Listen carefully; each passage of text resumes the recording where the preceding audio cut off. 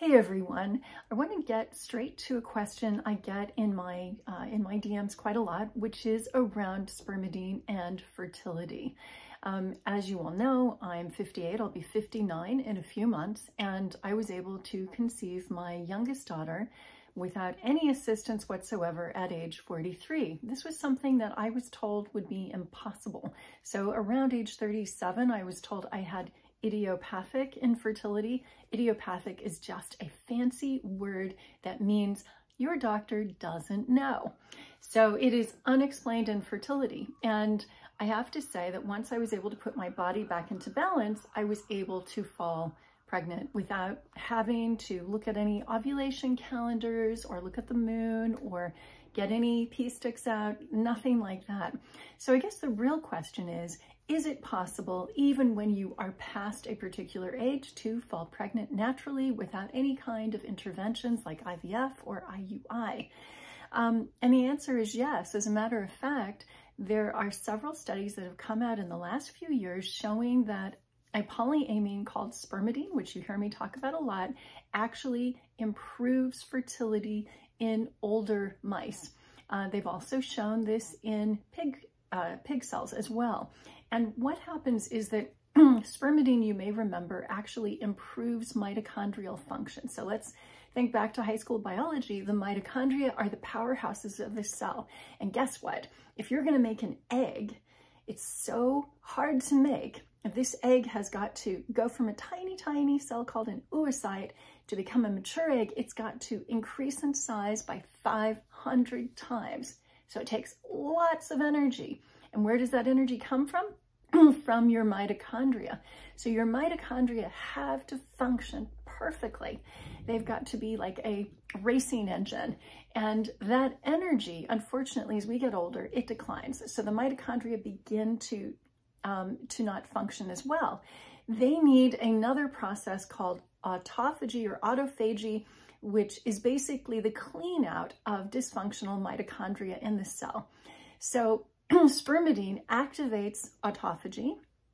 It activates mitophagy to get rid of these damaged mitochondria.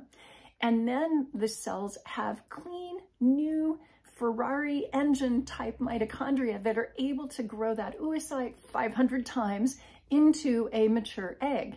Now, this is really exciting because I think that um, women today, there's a trend to have our babies later.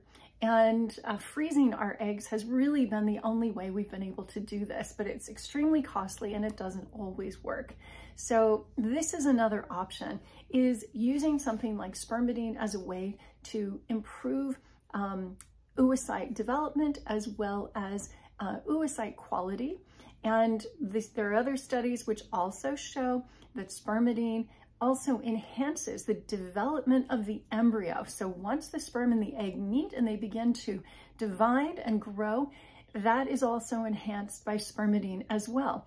In fact, in animal studies, they can show that the mice who are given, these middle-aged mice that are given spermidine are actually able to have larger litters. Not that we want to do that ourselves, but it, you know, goes to the point, this stuff actually helps with reproduction.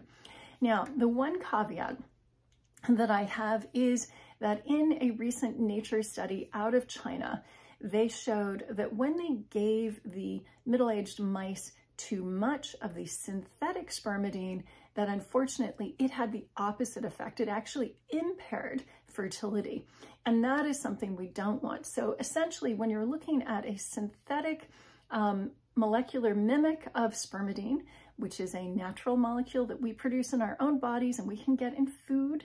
Um, everything from fermented soybeans, mushrooms, wheat germ. If we are getting a synthetic chemical, non-natural version of that spermidine, if we happen to take too much, then our fertility is actually impaired. So what is the too high dose? Unfortunately, we don't know. And given that there is a huge amount of variation in metabolism between men and women, between women of a certain age, a certain ethnicity, uh, even among siblings in a family, there can be different rates of metabolism. it's very hard to say what the Goldilocks zone of synthetic spermidine is for each woman, but you can increase the amount of food-derived spermidine that you get in your diet. So increasing things like uh, Japanese natto in your diet, increasing plants in your diet because all plants have spermidine, increasing food-derived supplements in your diet like Primeadine, that would also help. So I hope that this video um, gives you some of the, uh, the information and the studies that you might want to show to your fertility doctor if you are considering trying to enhance your chances of having a successful pregnancy after, say, age 37, which is around the time when they say that our mitochondria um, begin to malfunction in our eggs. Any questions? Drop them below and I'll do my best to answer them within the next seven days. So I'll take questions within the first seven days.